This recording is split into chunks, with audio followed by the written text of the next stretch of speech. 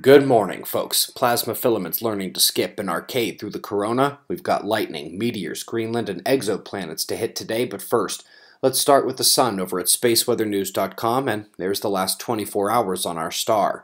Bright active region and a few dark coronal holes stealing one's attention. Please also notice the larger umbral field loops on the left side from another sunspot group making its way around. Thus far, the active region has not produced any solar flaring activity to speak of, and the reason is because it lacks complex sunspots. It almost lacks sunspots altogether, as we're eyeing just one minute umbral core there this morning and no penumbral shroud. Earth is magnetically connected to these coronal holes, but thus far they have been modestly powerful, and so we expect their solar wind to be the same due here at Earth tomorrow night or Saturday. Solar wind over the last three days has slightly gotten faster, but still not even out of calm range. The slight intensification, however, is why the KP is up off the floor. Let's go to the satellites, where long wave radiation is going to be followed up by day night cloud phase shifts as the sunset energy change really allowed that signature explosion of storms as the sky fell dark.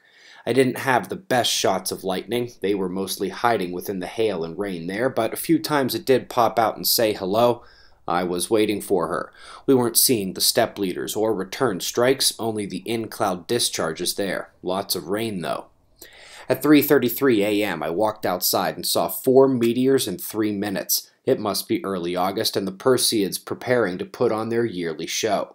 This is meteorshowers.org here showing the breadth of the material responsible for this shower. Just know that for more than a week here, the show is going to get better and better in the night sky. Try to get out and see it. Up next, we've got news out of Cambridge on numerous exoplanet chemistries and their chances for primordial soup as far as we can tell. Top right of this chart, you see just one planet super close to Earth, although marks hitting at least two colors will be darn close as well. Now, despite its nearly identical chemistry to Earth, its 380-day year and same orbital distance from its sun-like star, the big problem with this one is that it's five times as massive as Earth and nobody alive could even take a step there without collapsing. Luckily, we live here, or maybe not so lucky if you haven't had your head under a rock the last decade.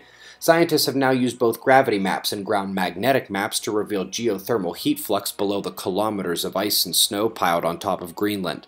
They also explain how it came to be, along with Iceland, after Greenland's geographic shift allegedly millions of years ago. Website members, you have your August planetary geometry posted in the Deeper Look section. Got about six days until things start to get fun. Contest winners were drawn last night, and I will send out those emails today. We've got wind maps and shots of our star to close. We greatly appreciate your support, and we'll do this all again tomorrow, right here. But right now, it's 4.35 a.m. in the new Valley of the Sun. Eyes open, no fear. Be safe, everyone.